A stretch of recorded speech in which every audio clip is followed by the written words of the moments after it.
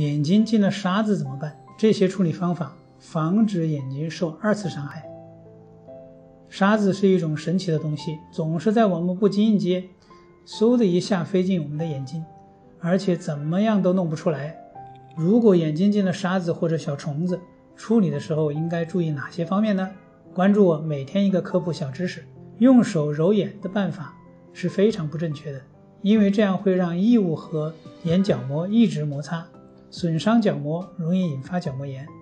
而且手上的细菌非常多，虽然肉眼看不见，但会通过肉眼的动作进入眼睛，引起细菌的感染，导致角膜炎和结膜炎。正确的做法是什么呢？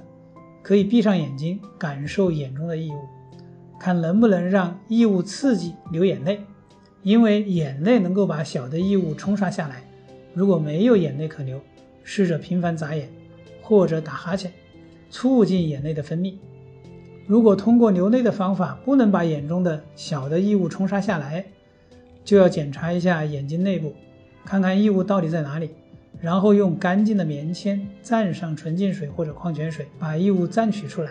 如果以上几种方法还不能将沙子弄出来，可以翻开眼皮，转动眼球，用水冲一下。最后，如果眼睛的异物感依然很严重，就不要拖延了，应该立即去医院检查。我做科普十九年了，请感兴趣的朋友点赞、关注、加转发，让更多的朋友了解健康知识。